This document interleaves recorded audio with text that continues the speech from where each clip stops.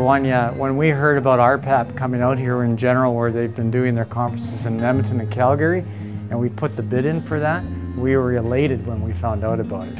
In Vermilion, we've we've had our, our definite ups and downs with uh, with re recruit, recruiting doctors and retaining doctors, and so uh, with this year, we, we knew we had some success on the on the horizon with four new doctors coming this year, and I've attended the the RPAP uh, conferences in the past, and and they're just a great networking session. And and to be honest, we have new hotels in Vermilion, we have a new regional center, and what what better way to showcase your community than to to host people from all over Alberta.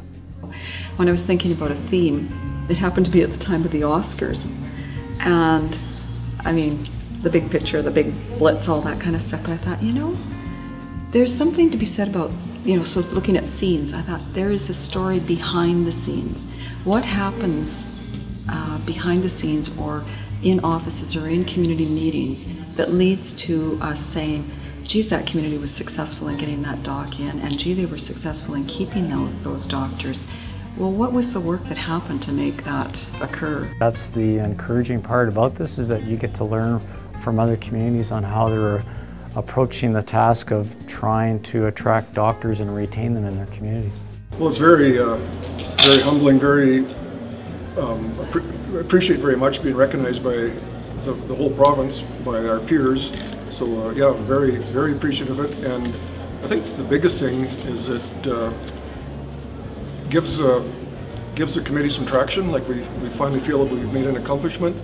And uh, so it, breathes fresh life into our fresh life into our committee.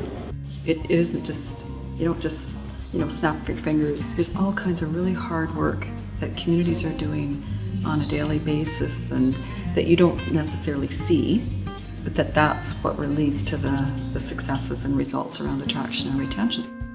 Uh, one thing I did get from the conference is uh, the conference hit a lot of nails on the head and brought a lot of expertise and uh, created the opportunity for a lot of networking to happen. So it we were able to zero in on where we think we needed the most help or source of ideas, and, and, there was something for everybody here. The conference had something that everybody could take back home and, and use.